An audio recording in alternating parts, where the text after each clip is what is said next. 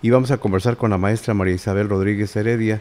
Ella es rectora de la Universidad Tecnológica Metropolitana, la UTM.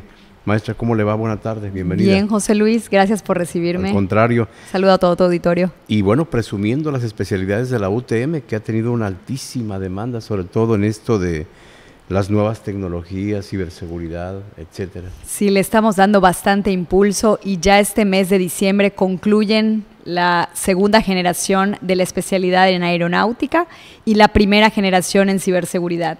Entonces ya tenemos los procesos de inscripción corriendo en este momento y abiertos hasta el 17 de noviembre para todo aquel o aquella que desea estudiar estas dos posgrados con duración de un año.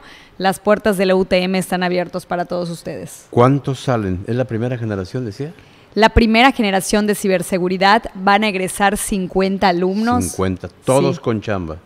Todos con chamba, la verdad es que de los cuales 12 son mujeres. Excelente. Y estas 12 mujeres son parte de las que están aprovechando las becas STEM del gobierno del estado, que son precisamente estas becas del 100% en inscripción y en colegiatura.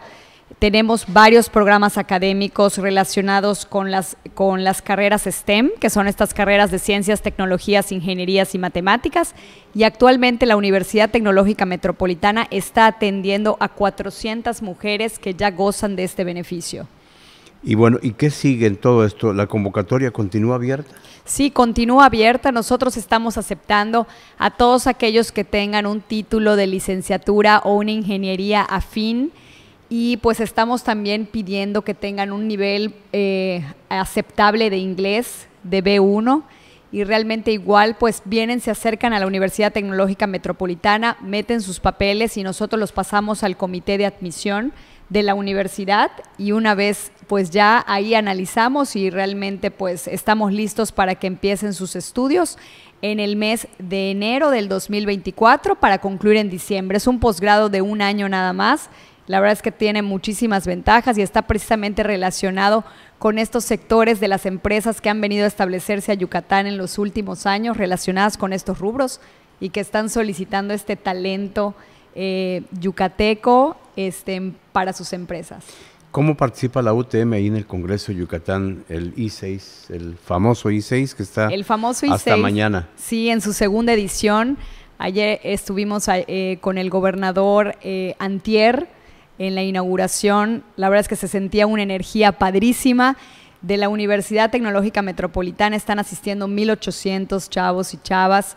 Tenemos siete equipos compitiendo en diferentes, ahora sí que concursos eh, de ciberseguridad, del metaverso, inteligencia artificial, en, en, variadas disciplinas. La verdad es que tenemos equipos fuertes y pesados en la Universidad Tecnológica Metropolitana. De hecho, estuve allá el martes que abrió dando una ponencia del papel de las universidades tecnológicas ante la demanda de talento de ciberseguridad. La verdad es que estaba yo algo nerviosa porque era mi primera ponencia en el tema pero después pues muy contenta porque la verdad es que se llenó y pues surgió ahora sí que mucha gente muy interesada. Hubo luego una ronda de preguntas y respuestas y la verdad es que me dio mucho gusto de ver cómo la gente en Yucatán tiene mucho interés por estos temas, por estas carreras, porque el hermano, porque sus hijos estudien y realmente salgan preparados en estas carreras que ya no son del futuro, sino ya del presente. Y carreras que van a, van a jubilar a, las, a lo que hoy conocemos como como algo tradicional, poco a poco van a ir Sí, la verdad que aquí tú ves el contraste de que mientras algunas carreras tradicionales con las que todos crecimos eh, están realmente ya saliendo más chicos y chicas egresados de la demanda laboral que hay, aquí es al revés.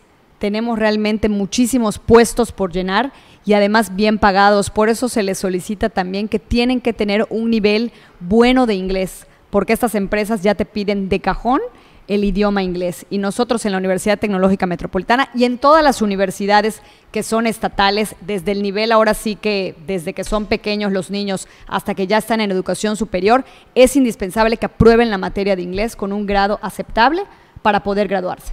¿Inscripciones todavía abiertas? Sí, inscripciones todavía abiertas. Eh, la inscripción tiene un costo para los posgrados de mil pesos y las mensualidades tienen un costo de dos mil pesos, pero recuerden, para las mujeres es totalmente gratis estos posgrados durante todo el año. Perfecto. ¿Dónde buscamos mayor información? En la página de la Universidad Tecnológica Metropolitana, utmetropolitana.edu.mx. Tenemos Facebook, tenemos Instagram y también nos pueden visitar allá, cerca del Estadio de los Leones, en la colonia Santa Rosa. Estamos a su disposición. Muchísimas gracias a la maestra María Isabel Rodríguez Heredia, rectora de la UTM. Un gusto, José Luis, saludar. Igualmente.